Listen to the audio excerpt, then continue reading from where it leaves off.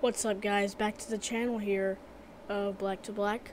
Uh, so Jackal Racing just released a new badge car, badge number 5 car, and it is the, as you see, is, is the SpongeBob Patty Mobile.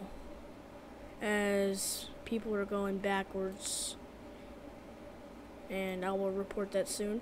Um, and here we are it's a pretty well made model. I can't really lie, and I, I, I love this car because it brings so much nostalgia into it to be put in a NASCAR game as a drivable car. That's pretty incredible.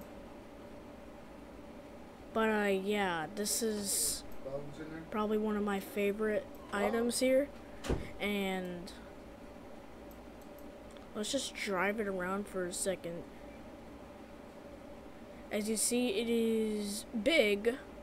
It is definitely big. Uh, it is a badge car, which you have to actually get. And we're going to hit this person right here. As we will continue here. Um, yeah, Gavin AD. But yeah, Gavin AD. Going backwards. And just wow, dude.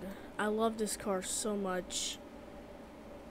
And uh, you can get it too by following a path, an invisible path, and it's an invisible obby. And these are the badge cars actually. So I will see you.